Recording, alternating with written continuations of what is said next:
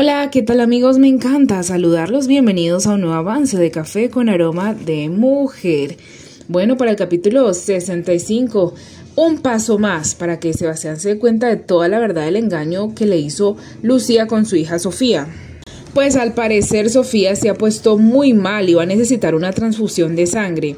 Ese va a ser el momento donde todos descubrirán la verdad. Sebastián se dará cuenta que todo fue un engaño y que Sofía no lleva su misma sangre. Todo el montaje de Lucía se vendrá abajo. Después de todo esto, perderá el cariño de doña Julia, se irá de la casa y todo se aclarará. La duda que tenemos es cómo reaccionará Sebastián al enterarse que Sofía no es su hija. Déjamelo saber en los comentarios. Y también qué irá a hacer apenas se entere que no tiene una hija con ella. ¿Será que irá a buscar a Gaviota? Porque es que sabemos que la razón por la que él se casó con Lucía fue solamente por su hija. ¿Ustedes qué opinan? Déjenmelo saber en los comentarios.